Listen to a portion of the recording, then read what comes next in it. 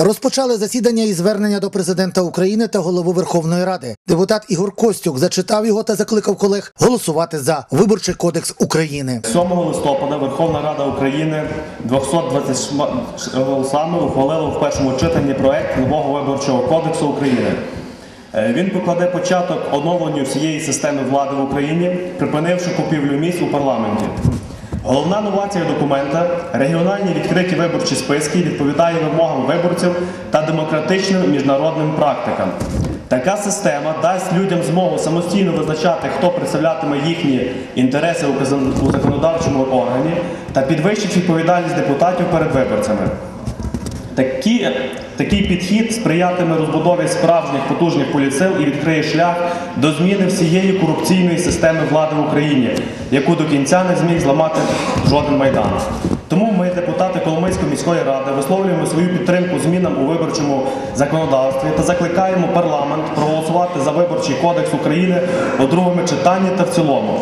Також закликаємо президента України Петра Порошенка якнайшвидше підписати його та ввести у дію. Далі міський голова Ігор Слюзар розпочав засідання. Головне, про що говорили, це бюджет. Він звернув увагу, що деякі депутати не дають можливості наповнювати його. Ігор Слюзар запросив колег активніше працювати для інтересів громади. Сьогодні в змінах до бюджету ми знову вносимо цю допомогу 740 тисяч на штучне футбольне поле. Мінрегіон такий об'єкт вніс. Чи ми маємо проблеми і негативи в роботі? Маємо. Ми не виконуємо бюджет розвитку. А бюджет розвитку в левовій частині складається з продажу коштів поступлених, з продажу землі нерухомості.